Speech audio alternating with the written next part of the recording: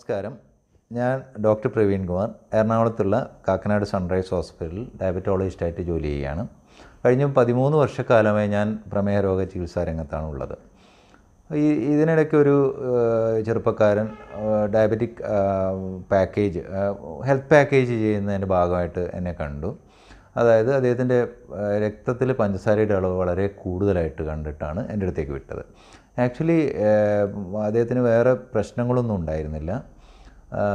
അപ്പോൾ ഞാൻ സംസാരിച്ചിരുന്ന എനിക്ക് മനസ്സിലാക്കാൻ പറ്റിയത് പ്രത്യേകിച്ച് ലക്ഷണങ്ങളൊന്നുമില്ല. അപ്പോൾ ബാക്കിയുള്ള തുടർ ടെസ്റ്റുകളൊക്കെ ചെയ്തപ്പോൾ ഏകദേശം ഒരു പത്ത് ഒന്നൊന്നര കൊല്ലമായിട്ട് അദ്ദേഹത്തിന് പ്രമേയമുണ്ടെന്നാണ് എനിക്ക് മനസ്സിലാക്കാൻ പറ്റിയത്. അപ്പോൾ അദ്ദേഹമായിട്ട് ഞാൻ കൂടുതൽ സംസാരിച്ചു. പ്രമേയത്തെ പറ്റിയും അതിന്റെ പാർശ്വഫലങ്ങളെ പറ്റിയൊക്കെ സംസാരിച്ചപ്പോൾ അദ്ദേഹത്തിന് അത് ഏകദേശം ബോധ്യമായി. പിന്നീട് ഞാൻ ആലോചിച്ചപ്പോഴാണ് ഈ എത്രത്തോളം മിഥ്യാധാരണകളാണ് പല ഇപ്പോഴത്തെ ചെറുപ്പക്കാരക്കാർക്ക് പ്രമേയത്തെ പറ്റിയുള്ളതെന്ന് എനിക്ക് മനസ്സിലായി. അപ്പോൾ അങ്ങനെ ചിന്തിച്ചപ്പോഴാണ് എനിക്ക് ഈ ഒരു ഒരു യൂട്യൂബ് ചാനൽ തുടങ്ങി കുറച്ച് കാര്യങ്ങൾ ഞാൻ ഇത്രയും കൊല്ലമായി പ്രമേയത്തെ പറ്റി ഉള്ള അറിവും എന്റെ അനുഭവങ്ങളും വെച്ച് കുറച്ച് കാര്യങ്ങൾ പറഞ്ഞു കൊടുത്തു കഴിഞ്ഞാൽ അത് ആൾക്കാർക്കൊരു ഉപകാരമാവുമെന്ന് എനിക്ക് ചിന്തിച്ചത്. അങ്ങനെയാണ് ഞാൻ ഈ ചാനൽ തുടങ്ങാൻ ഉദ്ദേശിച്ചത്. ഇനി ഇന്ന് നമുക്ക് എന്താണ് പ്രമേഹം എന്ന് വെച്ച് തുടങ്ങാം. അതായത് എന്താണ് പ്രമേഹം യഥാർത്ഥത്തിൽ പ്രമേഹം എന്ന് വെച്ച് കഴിഞ്ഞാൽ രക്തത്തിലെ പഞ്ചസാരയുടെ അളവ് ക്രമാതീതമായി കൂടുന്ന ഒരവസ്ഥ. നമ്മുടെ ശരീരത്തിൽ ഇൻസുലിൻ എന്നൊരു ഹോർമോണുണ്ട് അത് ഉണ്ടാക്കുന്നത് ഈ പാങ്ക്രിയാസ് ഗ്രന്ഥിയാണ്. ഈ പാങ്ക്രിയാസ് ഗ്രന്ഥി എവിടെയാണ് സിറ്റേറ്റ് എവിടെയാണ് ഇരിക്കുന്നതെന്ന് വെച്ച് കഴിഞ്ഞാൽ നമ്മുടെ വയറിന്റെ ഉള്ളിൽ ആമാശത്തിന് പുറകിലായിട്ട് നട്ടലിനോടനുബന്ധിച്ച് ഒരു ലോങ് ആയിട്ടുള്ളൊരു ഗ്രന്ഥി ഒരു കുറച്ച് നീളത്തിലുള്ളൊരു ഗ്രന്ഥിയാണ്. ഈ ഗ്രന്ഥിയുടെ ഒരു ചെറിയൊരു ഭാഗം അതായത് കുറേ സെൽസ് ഇതിനകത്തുണ്ട് ഇതിൽ ആൽഫ ബീറ്റ സെൽസ് എന്ന് പറഞ്ഞ ഒരു സെൽസാണ് കുറച്ച് സെൽസേ ഉള്ളൂ ഇതിനകത്ത്. ഈ ബീറ്റ സെൽസ് എന്ന സെൽസാണ് ശരിക്കും ഇൻസുലിൻ ഉണ്ടാക്കുന്നത്. ഈ ഇൻസുലിനാണ് രക്തത്തിലെ പഞ്ചസാരയുടെ അളവ് ക്രമീകരിക്കുന്നതിൽ പ്രധാന ഭാഗം വഹിക്കുന്നത് ശരിക്കും. അപ്പോൾ ഈ ഇൻസുലിന്റെ ഏറ്റക്കുറച്ചിലുകളാണ് പ്രമേഹം ഉണ്ടാക്കുന്നത്.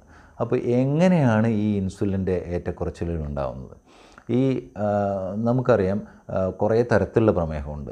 അപ്പോൾ യൂഷ്വലി നമുക്ക് കാണുന്നത് ഇപ്പോൾ അഡൾട്ടായിട്ടുള്ള ആൾക്കാരിലുള്ള പ്രമേഹമാണ്. അപ്പോൾ ഇൻസുലിൻ കുറയുന്നൊരവസ്ഥക്ക് മുന്നേ തന്നെ ഇൻസുലിന്റെ വർക്കിംഗ് കുറയുന്ന അതായത് ഇൻസുലിന്റെ റെസിസ്റ്റൻസ് കുറയുന്ന ഒരവസ്ഥയാണ് യൂഷ്വലി പ്രമേഹത്തിൽ കാണുന്നത്. യൂഷ്വലി കാണുന്ന പ്രമേഹം ടൈപ്പ് ടു ഡയബറ്റീസ് ആണ്. അപ്പോൾ ഈ ടൈപ്പ് ടു ഡയബറ്റീസ് തുടക്കത്തിൽ ഇൻസുലിന്റെ ഇൻസുലിൻ ഉണ്ടാവും പക്ഷേ ഇൻസുലിന്റെ റെസിസ്റ്റൻസ് അതായത് ഇൻസുലിൻ നമ്മുടെ ശരീരത്തിൽ ഏൽക്കായിക. കുറേ ഇൻസുലിൻ ഉണ്ടായിട്ട് കാര്യമില്ല അത് വർക്ക് ചെയ്യണ്ടേ?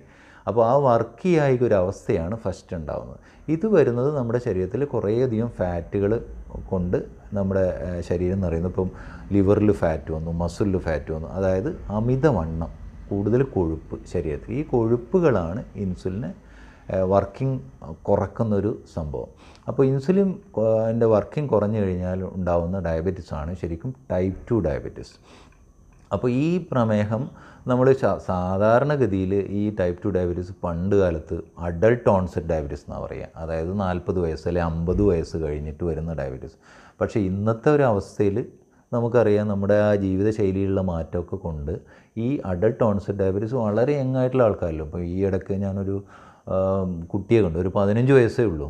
അപ്പോൾ ആ കുട്ടികൾക്ക് പോലും ഈ അഡൾട്ട് ഓൺസെറ്റ് ഡയബറ്റീസ് കാണുന്നതായിട്ട് നമ്മൾ കാണുന്നുണ്ട്. പിന്നെയുള്ള ഒരു ടൈപ്പ് എന്ന് വെച്ച് കഴിഞ്ഞാൽ ഈ ഒരു ഒന്നോ രണ്ടോ വയസ്സ് മൂന്ന് വയസ്സൊക്കെ കഴിയുമ്പോഴേക്കും നമ്മുടെ ശരീരത്തിലുള്ള ബീറ്റാ സെൽസ് നശിച്ചു പോകുന്നൊരവസ്ഥ. അതായത് ഓട്ടോ ഇമ്മ്യൂണിറ്റി എന്നാണ് ഇതിന് പറയുന്നത്. ഈ സെൽസ് ഓട്ടോ ഇമ്മ്യൂൺ റിയാക്ഷൻ മൂലം നശിച്ചു കഴിഞ്ഞാൽ ഇൻസുലിന്റെ അളവ് കുറഞ്ഞു കുറഞ്ഞു കുറഞ്ഞു വരും. അപ്പോൾ ഒരു സിറ്റുവേഷൻ എത്തിക്കഴിഞ്ഞാൽ ബ്ലഡ് ഗ്ലൂക്കോസ് വളരെ വളരെ കൂടിയിട്ട് പെട്ടെന്നൊരു അബോധാവസ്ഥയിലേക്ക് പോകുന്നു. അത് പെട്ടെന്ന് ഡെവലപ്പ് ചെയ്യുന്ന ഒരു ഡയബറ്റീസാണ് ഈ ടൈപ്പ് അതാണ് ടൈപ്പ് വൺ ഡയബറ്റീസ് എന്ന് പറയുന്നത്. മിക്കവാറും ഇത് കുട്ടികളിലാണ് കാണുക. എല്ലാ പ്രായത്തിലും ടൈപ്പ് വൺ ഡയബറ്റീസ് കാണുമെങ്കിലും ഏറ്റവും കൂടുതൽ ഈ ടൈപ്പ് വൺ ഡയബറ്റീസ് കാണുന്നത് കുട്ടികളിലാണ്. അപ്പോൾ ഇതിനെ നമുക്ക് ഇൻസുലിൻ വെച്ചിട്ട് തന്നെ ചികിത്സിക്കണം. കാരണം ഇൻസുലിന്റെ ഡെഫിഷ്യൻസിയാണ് ടൈപ്പ് ടു ഡയബറ്റീസ് നേരെ മറിച്ച് നമുക്ക് തുടക്കത്തിൽ ഡയറ്റ് കൺട്രോളും പ്രോപ്പർ എക്സസൈസും കൊണ്ടൊക്കെ ചികിത്സിക്കാൻ പറ്റും. വേറെ തരത്തിലുള്ള ഡയബറ്റീസ് എന്ന് വെച്ച് കഴിഞ്ഞാൽ ഈ ജസ്റ്റേഷൻ ഡയബറ്റീസ് അതായത് ഗർഭകാലത്ത് വരുന്ന പ്രമേഹം. അത് ഗർഭകാലത്ത് കുറേയധികം ഹോർമോണുകൾ ശരീരത്തിൽ വരും. ഈ ഹോർമോണുകളെല്ലാം ആന്റി ഇൻസുലിനാണ് അതായത് ഇൻസുലിന്റെ ഇഫക്റ്റിനെ കുറക്കുന്ന ഒരു ഹോർമോണുകളാണ് ഈ ഗർഭകാലത്തെ ഹോർമോണുകൾ. അപ്പോൾ ഇത് പ്രകാരം ഇൻസുലിന്റെ റെസിസ്റ്റൻസ് വന്നിട്ട് ഉണ്ടാകുന്ന പ്രമേഹമാണ് ഗർഭകാലത്തെ പ്രമേഹം. ഇത് ഒരു മൂന്നാമത്തെ തരത്തിലുള്ള പ്രമേഹം. മൂ ഇപ്പം ടൈപ്പ് വൺ ടൈപ്പ് ടു ഇത് മൂന്നാമത്തെ തരത്തിലുള്ളൊരു പ്രമേഹമാണ്. ഇനി നാലാമത്തെ ഒരു പ്രമേഹമുണ്ട്. ഈ പാങ്ക്രിയാസിന്റെ രോഗങ്ങൾ വഴി പാങ്ക്രിയാസിന് ക്യാൻസർ പാങ്ക്രിയാസിൽ കല്ലുകൾ ഉണ്ടാകുന്നുണ്ട് പിന്നെ ഡ്രഗ്സൊക്കെ കൊണ്ട് ഇൻഡ്യൂസ് ഈ സ്റ്റീറോയിഡ് ഡ്രഗുകളൊക്കെ കൊണ്ടുവരുന്ന പ്രമേഹമാണ് നാലാമത്തെ ടൈപ്പ് അപ്പോൾ ഇങ്ങനെയാണ് നമ്മളൊരു ബ്രോഡായിട്ട് പ്രമേഹത്തെ ക്ലാസിഫൈ ചെയ്യുന്നത്. ഒരു നാല് ടൈപ്പ് പ്രമേഹം എന്ന് പറഞ്ഞ് ക്ലാസിഫൈ ചെയ്യുന്നത് ഇങ്ങനെയാണ്. അപ്പോൾ പ്രമേഹത്തെ പറ്റി ഏകദേശം നമുക്കൊരു ടൈപ്പ് എന്താണ് പ്രമേഹം എത്ര ടൈപ്പ് ഉണ്ട് എന്നുള്ള ഏകദേശം നിങ്ങൾക്ക് മനസ്സിലായി കാണുമെന്ന് ഞാൻ വിശ്വസിക്കുന്നു. ഇനി പ്രമേഹത്തെ പറ്റി കൂടുതലായിട്ട് ഞാൻ എല്ലാ കാര്യങ്ങളും പ്രമേയത്തിന്റെ ലക്ഷണങ്ങൾ പിന്നെ പ്രമേയത്തിന്റെ വിവിധ കോംപ്ലിക്ക വിവിധ പാർശ്വഫലങ്ങൾ അതുപോലെ